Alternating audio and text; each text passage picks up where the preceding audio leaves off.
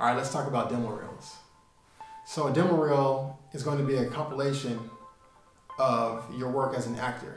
My recommendation for your demo reels is going to be also the same thing as I said for headshots. Make sure that it's role specific. Um, you should have several different demo reels um, just so that they can showcase what it is that the casting director is casting for. If the casting agent is casting for a serious role then don't send them a demo reel that just shows a bunch of comedy. Send them something that is close enough to fit the description for which they're casting for. If, starting off, if you don't have anything that fits the description for which they're casting for, make sure you at least send them your best work. Your best work means that's something that you can show your dynamic range as far as acting. It doesn't mean send them the work with you alongside some name actor. If you did a scene with another actor just because they have a name, but you don't have any lines or any words, it doesn't do anything for you. And it doesn't impress that casting director either. Make sure that whatever you send them has your best work.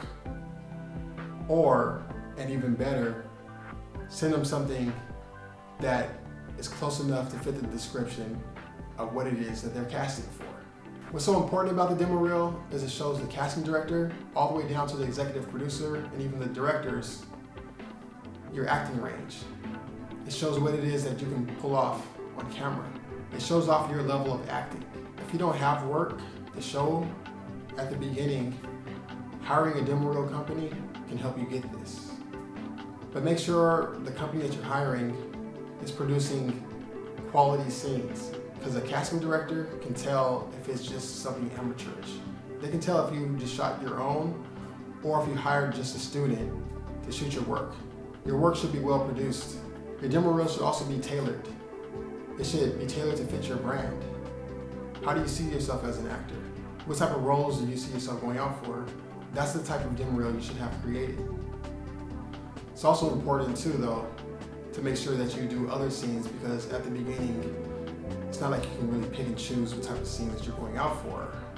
So you should also make sure that you have enough in your toolkit that can that you can submit to casting directors for whatever type of role that they're looking for. And a demo reel company can help with that. Just make sure that your demo reel is professionally shot by a company who's used to producing quality work. Something like Taylor Talent Reels. We produce high quality work. The staff are filmmakers who've been doing what they do for over 20 years. So your average demo reel should be close to two minutes in length. Also, it should be a compilation of your work with you acting. A lot of people will send in demo reels in their music video, or it'll be more like a sizzle reel where it shows just them, their face with no dialogue and they're just dancing or doing other things.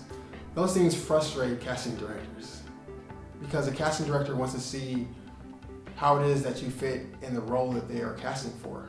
They don't want to just see your face. They don't want to see a music video.